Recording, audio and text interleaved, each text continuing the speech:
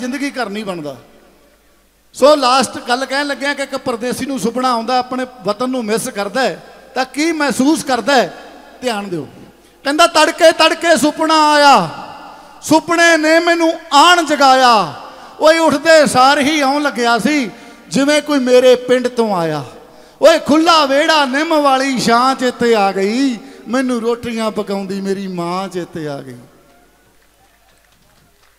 ਕਹਿੰਦਾ, ਬਾਪੂ, ਮੇਰਾ ਪੈਲੀ ਵਾਹੁੰਦਾ, ਬਲਦਾਂ ਦੇ ਗਲ ਟੱਲੀਆਂ। ਓਏ ਮਾਂ ਮੇਰੀ ਨੇ ਰੋਟੀਆਂ ਬੰਨ ਮੇਰੇ ਹੱਥ ਖੇਤ ਨੂੰ ਕੱਲੀਆਂ ਟੂ ਵੈਲ ਤੇ ਨਹਾਉਣ ਦਾ ਸਵਾਦ ਚੇਤੇ ਆ ਗਿਆ। ਜਿੱਥੋਂ ਚੋਰੀ ਗੰਨੇ ਪੱਟੇ ਸੀ, ਕਮਾਦ ਚੇਤੇ ਆ ਗਿਆ।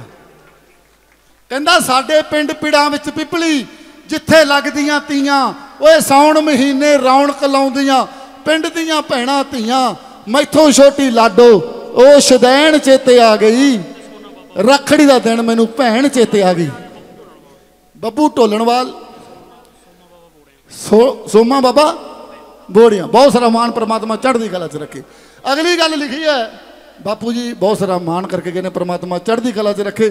ਜਦੋਂ ਸੁਣਨ ਵਾਲੇ ਵਧੀਆ, ਸੁਣਨ ਵਾਲੇ ਅੱਗੇ ਹੋਣ, ਤਾਂ ਮੱਲੋ ਮੱਲੀ ਬੋਲਣ ਨੂੰ ਜੀ ਕਰਦਾ ਬਿੱਟੂ ਖੰਨੇਵਾਲ ਦੀ ਸਾਊਂਡ ਹੋਵੇ ਤੇ ਤੁਹਾਡੇ ਵਰਗੇ ਸਰੋਤੇ ਹੋਣ ਤੇ ਆਟੋਮੈਟਿਕਲੀ ਬੋਲਿਆ ਜਾਂਦਾ ਅਗਲੀ ਗੱਲ ਮੈਂ ਲਿਖੀ ਹੈ ਕਹਿੰਦਾ ਬਾਂਦਰ ਕਿੱਲਾ ਖੇਡਣ ਵਾਲੇ ਜਾਨ ਨਾ ਯਾਰ ਭੁਲਾਏ।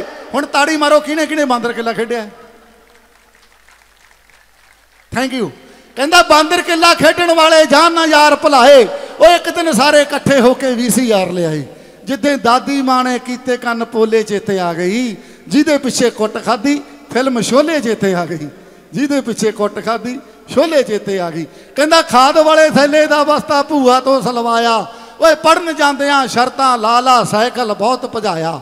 ਓਏ ਬੱਬੂਆ ਬਰਾੜਾ ਵੇਲੇ ਕਮਜ਼ੋਰ ਚੇਤੇ ਆ ਗਏ। ਸਾਡੇ ਕੱਚੀਆਂ ਕੰਧੋਲੀਆਂ ਤੇ ਮੋਰ ਚੇਤੇ ਆ ਗਏ। ਸਾਡੇ ਕੱਚੀਆਂ ਕੰਧੋਲੀਆਂ ਤੇ ਮੋਰ ਚੇਤੇ ਆ ਗਏ।